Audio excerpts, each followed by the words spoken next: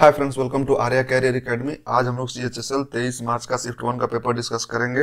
और अगर अभी तक आप मेरे चैनल को सब्सक्राइब और शेयर नहीं किए तो सब्सक्राइब और शेयर कर लीजिए और बेल आइकन दबाना नहीं भूलिए, ताकि कोई भी नया नोटिफिकेशन हो तो आपको अपडेट मिलता रहे। चलिए क्वेश्चन देखते हैं। सबसे पहला क्वेश्चन था which of the following is not an allotropes of carbon तो देखिए, इसका ऑप्शन तो मेरे पास नहीं है, मगर एलोट्रॉप्स ऑफ़ कार्बन होता है। Graphene diamond graphite fullerene nanotube. तो ये ये इतना आपको पाँच जो है, ये पाँच एलोट्रोप्स हैं। इसी में से चार ऑप्शन दिया होगा। तीन उसमें से सही होंगे और एक नहीं होगा तो आप उसके अनुसार अपना आंसर दे सकते हैं। चलिए नेक्स्ट क्वेश्चन देखते हैं। बिहू डांस कहाँ से बिलोंग करता है? तो बिहू डांस ये आसाम का डांस है। जैसे आप देख सकते हैं डांस से एक क्वेश्चन हमेशा आ रहा है। तो आप अगर प्रीवियस वीडियो नहीं देखे तो उसमें जाके देखिए, क्योंकि हम डांस फॉर्म एक्सप्लेन किए हैं। New PM of Nepal is from which party तो देखिए, खाड़गे प्रसाद ओली थे, ये थे, कम्युनिस्ट पार्टी ऑफ़ नेपाल से बिलोंग करते हैं। चलिए नेक्स्ट क्वेश्चन देखते हैं। सेल थ्योरी किसके द्वारा दिया गया है?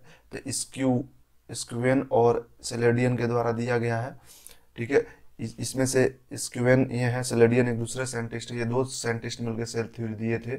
What is the layer below outermost layer of the earth तो देखिए आउटर मोस्ट सबसे पहला आउटर मोस्ट होता है क्रस्ट क्रस्ट के बाद होता है मेंटल और मेंटल के बाद होता है कोर और इस तरह देखिएगा तो lithosphere asthenosphere lower mantle outer mantle inner core तो आप इसका सेकेंड पर कौन है? तो मेंटल है। तो इसका आंसर क्या हो जाएगा? मेंटल चलिए नेक्स्ट क्वेश्चन देखते हैं। राइट टू प्रॉपर्टी आर्टिकल तो देखिए राइट टू प्रॉपर्टी आर्टिकल जो है, इसको हटा दिया गया है फंडामेंटल राइट से।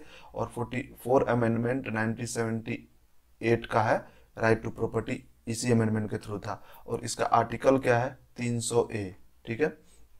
नेक्स्ट क्वेश्चन देखते हैं। Allocation of national nutrition mission देखिए एलो कितना इसको पैसा दिया गया था नौ हज़ार छियालीस करोड़ इसका अलोकेट किया गया है न्यूट्रिशन मिशन के लिए। नेक्स्ट क्वेश्चन देखते हैं। देखिए, एक क्वेश्चन आया था मास ऑफ़ गन दिया एम वन दिया हुआ है एम टू दिया हुआ है वी टू दिया हुआ है और वी वन दिया हुआ है। तो इसका फॉर्मूला होता है एम वन वी वन बराबर एम टू वी टू अब ये वैल्यू आप पुट कर जैसे गन से किसी चीज़ को फायर करते हैं तो उसका मास और वेलोसिटी और उसी तरह सेकेंड वाला का भी तो आप इस फॉर्मूला से आप इस क्वेश्चन को बना सकते हैं। तो देखिए maximum number of electron in atom with N numbers of orbit तो टू एन स्क्वायर होता है इसका, ठीक है?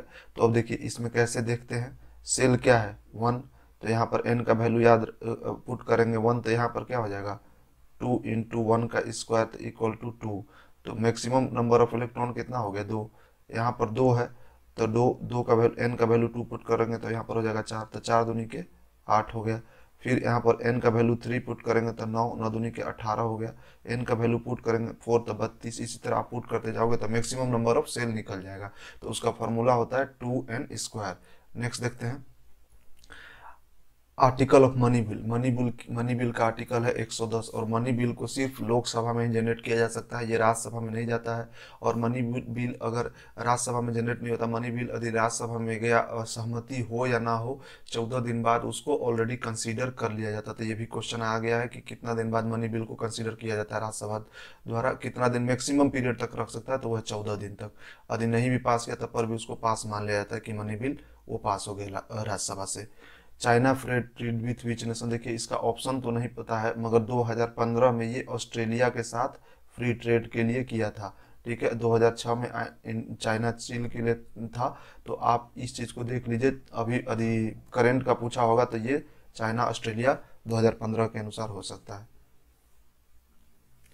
आफ्टर पाला डायनेस्टी विच डायनेस्टी रूल ये है सेना डायनेस्टी इसके बाद आया था, और धर्मपाल इसके मेन थे पाला डायनेस्टी के एक बहुत बड़े लीडर में से धर्मपाल थे।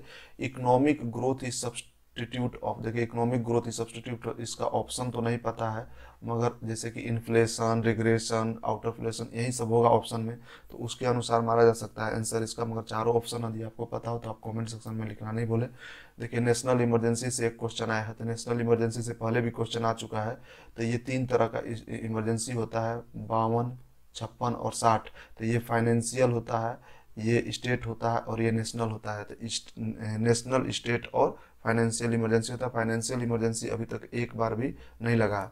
और ये सब देख लीजिएगा, बैनल का एंटोनिम्स आया है कॉन्ट्राइट का सिनोनिम्स आया आउट ऑफ़ डोर ईडियम आया है, और सी द सोर आई ये भी आया है क्वेश्चन चलिए thank you for watching subscribe and share my channel